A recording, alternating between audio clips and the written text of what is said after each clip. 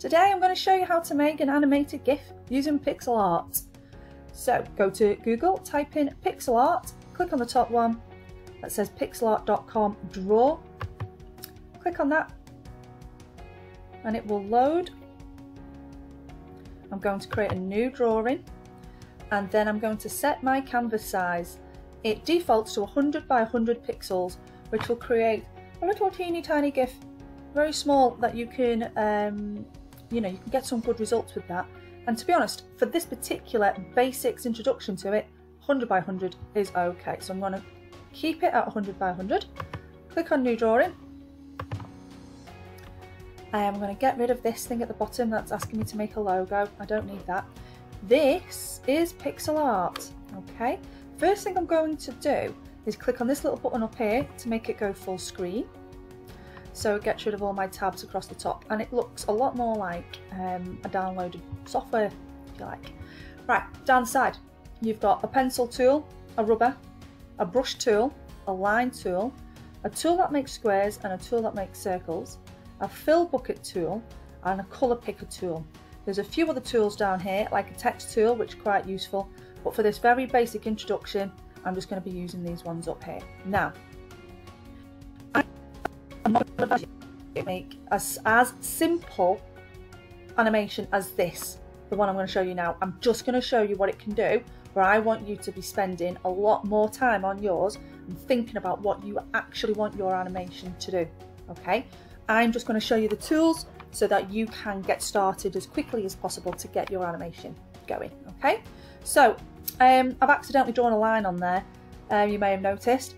I'm going to click on this little pencil tool. Down here is our sort of um, little selectors, colour selectors, and I can choose a particular colour on here for my pencil.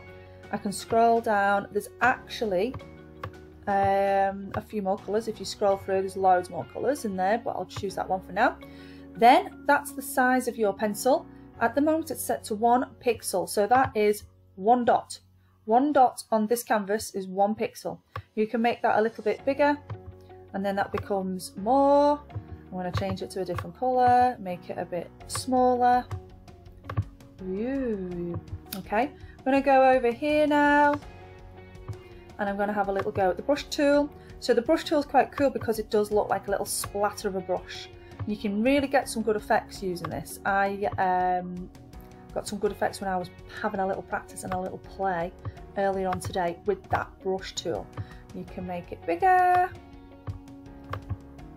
Okay, um, then what we've got, we've got circle tool. So you click on the screen. Oh, I've made that circle too, too big, make it a bit smaller. Click and drag and you can make circles, you can make squares. Fill bucket does what any normal fill bucket does and that will fill in chunks of your canvas no matter where you click it. Okay, so I could change it to a different colour now and start filling it in. So I'm having a little go at these different tools and really this is what I want you to do. So I've just tapped on the text tool there. Can't really see that text, going to make it black.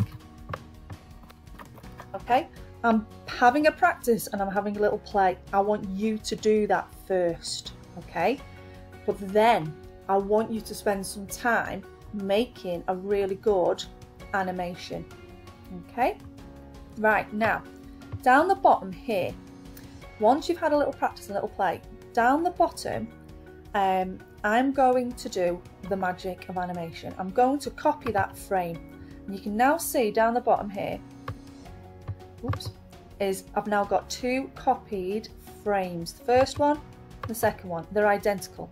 On this second one, I'm going to make some slight changes, okay? So I might do um, a colour of my pencil tool. So I'm just adding a little bit there. Right, I'm going to go back down here. I'm going to add another frame. Oops. Um, just need to go undo that one now.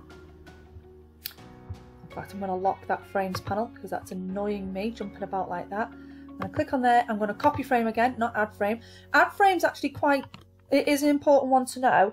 If you were going to do another scene and it was going to be completely different to the first scene, then you would add a frame and it would give you, or show you, a brand new blank scene that you could start with.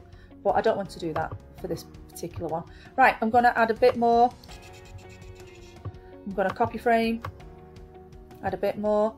I want you to keep your eye on what's going on down here. Keep copying the frame and I am adding a little bit more. I'm going to copy the frame and these are, the, when played together, this will create the illusion of movement and that's where the magic of animation comes in.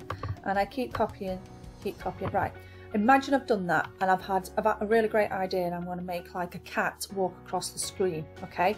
I've not just done some random scribbles. I want you to be doing something really um, good, okay? Imagine I've done that now. I'm now going to preview it. Click on play. There we go. There's my little animated GIF doing its magic. Okay, click on the cross. Imagine if you'd made a little cat walking across the screen. It'd be so cool, wouldn't it? It would. And I click on File and I go to Download. Now, if I wanted to continue working on this another time, maybe I was doing a really detailed pixel art, I would save as pixel to my device and then I would be able to open that back up again next time. But as it stands, I just want to download it now to show you what to do. So I'm going to click on download. It's going to save it as GIF. In this section, you can decide what size you want it when you download it. Um, it's set to 100 by 100 because that was the, the, the pixel size that we set it as when we, when we started. That's really small. So you could download it a few times at different sizes until you get the size that you want. I'm going to choose um, 1100 by 1100 because that'll be a bit bigger. And then you click on download. Now there's other things that you can do in here, but for this basic tutorial, don't worry about those. Just click on download and it will take a bit of time. Okay, it's downloaded. Here it is down here.